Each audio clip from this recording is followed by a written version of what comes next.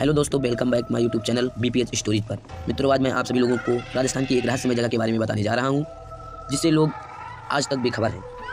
हम से कई लोगों ने इसके बारे में सुना ही होगा, पर इस मंदिर के बारे में अलग अलग कहानियाँ बताई जाती हैं। इस मंदिर के बारे में ऐसा कहा जाता है कि शाम ढलने के बाद इस मंदिर में कोई नहीं रुकता, और इसके आसपास घूम भी नहीं सकता, क्योंकि जो भी इसके अंदर या आसपास शाम ढलने के बाद जाता है तो वह इंसान पत्थर में बदल जाता है।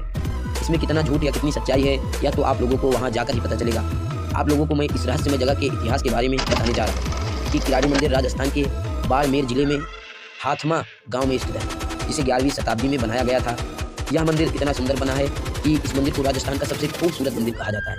लेकिन 900 साल पुराना यह मंदिर की तरफ़ कई लोगों का ध्यान नहीं गया है, जिसके कारण यह मंदिर गुमनाम अंधेरे में छिपा हुआ है। यह मंदिर में एक मंदिर शिव जी का है और दूसरा मंदिर विष्णु जी का है। इस मंदिर की दीवारों पर कलाकृतियाँ बनी हुई हैं। जो आपको इतिहास की याद दिलाती हैं। मंदिर के इतिहास के बाद, इस मंदिर के रहस्य के बारे में बताते हैं। वहाँ के लोगों के अनुसार आज से करीब 900 साल पहले यह किराडू में परमार वंश के राज्य हुआ करता था। उस समय में एक दिन एक साधु अपने कुछ शिष्यों के साथ यहाँ पर रहने को आए थे और यहाँ पर कुछ दिन बिताने के बाद उन्होंने सोचा कि थोड़ा और घूमने का निश्चय किया।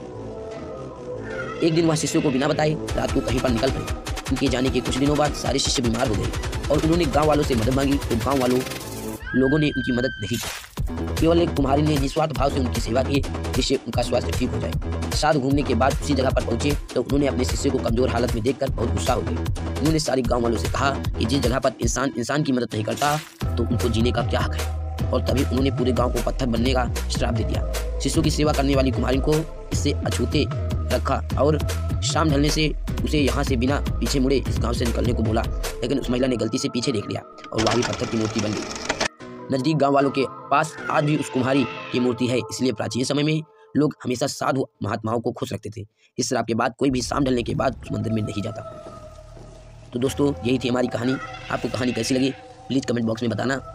हमारे चैनल को सब्सक्राइब अभी तक नहीं किया है तो सब्सक्राइब कर लीजिए, क्योंकि हम ऐसे ही इंटरेस्टिंग कहानियाँ आपके लिए लेकर आते रहेंगे।